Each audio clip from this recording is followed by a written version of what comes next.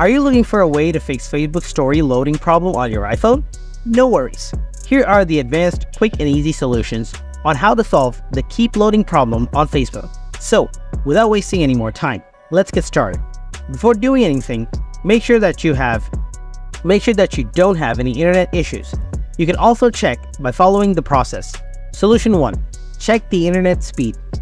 Open any browser, search for an internet speed test, and check whether you have enough speed or not. If you have internet issues, enable airplane mode. Now wait 30 seconds, then turn it back off. Also, switch your network Wi-Fi to mobile data or mobile data to Wi-Fi. Solution 2. Update your Facebook app. Open the store, search Facebook. If you find any updates available, then tap on Update. Now open Facebook. After that, check whether your problem is solved or not. If you still have the issue, then try our last solution. Solution 4.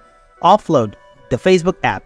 Open Settings, scroll down, tap on General, now tap on iPhone Storage, find the Facebook app, tap on it, tap on the Offload the app button, and tap Offload again. Now reinstall the app, and check your problem whether it's fixed or not.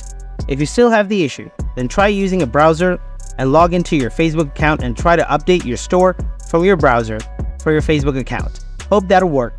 So, this is how you can solve the story keeps loading problem on Facebook. If you have any questions, please write them in the comment section below. And don't forget to subscribe to our channel. Thanks for watching.